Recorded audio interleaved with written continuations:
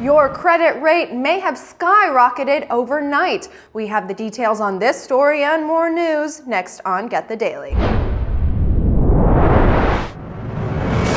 Hello and welcome to GetTheDaily.com. I'm Dana Ward with the latest news updates.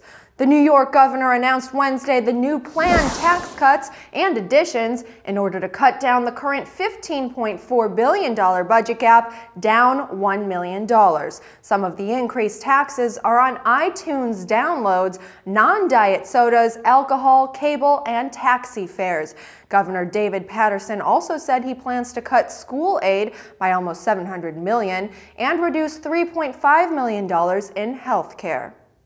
And Bill Clinton released on Thursday a list of his donors from his foundation. The former president did this in order to help the transition for his wife Hillary Clinton to become Secretary of State. The two largest donations came from UnitAid, an international organization that purchases prescription drugs to aid sick children, and from the Children's Investment Fund Foundation, both giving more than $25 million each. Some other high rollers on the list include the Kingdom of Saudi Arabia, the Bill and Melinda Gates Foundation, and real estate friend Stephen Bing, each donating between $10 million and $25 million. The entire list can be viewed at clintonfoundation.org backslash contributors.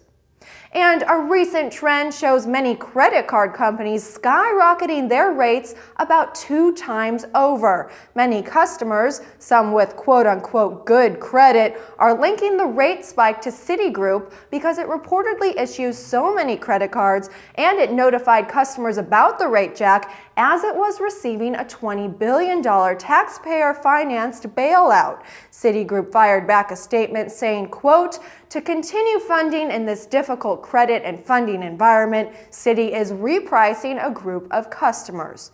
Because this type of business is legal, at least according to the fine print, the Federal Reserve plans to vote Thursday on its own rules related to credit rate jacking. However, any votes would not be in effect until 2010.